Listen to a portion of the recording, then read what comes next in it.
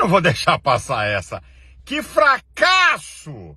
Dia 1 de maio, até Lula dizendo que a manifestação foi mal convocada. Vocês fazem isso há anos, rapaz. Deixa de desculpas farrapadas, vocês não têm povo, não. E aí?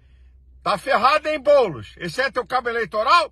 Alexandre de Moraes, cometeram um crime eleitoral.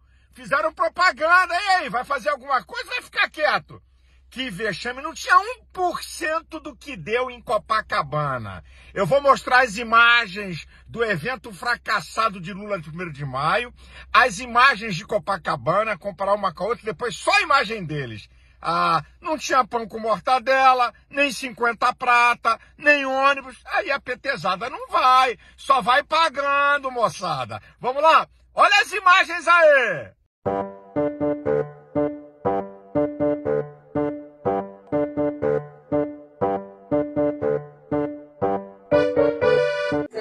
Aí sim os discursos dos representantes do sindicato. O tema de hoje, a festa de hoje, o evento, tem o tema Por um Brasil Mais Justo. Esse que é o sexto ano consecutivo que as centrais sindicais se reúnem e apresentam de uma maneira unificada tanto as reivindicações quanto a comemoração do 1 de maio. Ao longo do dia de hoje, outros artistas também devem subir ao palco, se apresentar aqui para o público, como por exemplo a cantora Paula Lima, o rapper Dexter e ainda a previsão da bateria, da apresentação da Que vexame! Aí? A USP não vai dar o número não? Cambada de cretinos esquerdopatas. Não quer dar o número lá não? Do evento deles? Ah, minha gente, esses caras não estão com nada. Não tem povo com eles. Bolsonaro dá um grito e vem multidão. Tá aí a prova, minha gente. Olha, eu vou deixar o final aí para uma gargalhada. E quero ver os deputados do PT semana que vem na tribuna falando do evento. Oh, vamos lá, minha gente. Deus abençoe o Brasil. Deus abençoe você. Deus abençoe a sua família. E eu termino aí com uma gargalhada para vocês.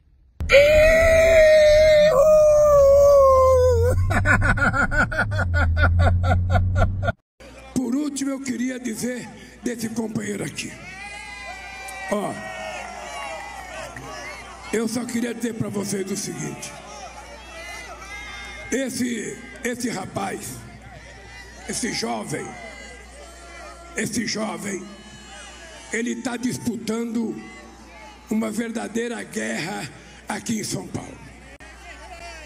Ele ele está disputando com o nosso adversário nacional, ele está disputando contra o nosso adversário estadual, ele está disputando contra o nosso adversário municipal. Então ele está enfrentando três adversários. E por isso eu quero dizer para vocês: ninguém derrotará esse moço aqui se vocês votarem no bolo para prefeito de São Paulo nas próximas eleições. E eu vou fazer um apelo.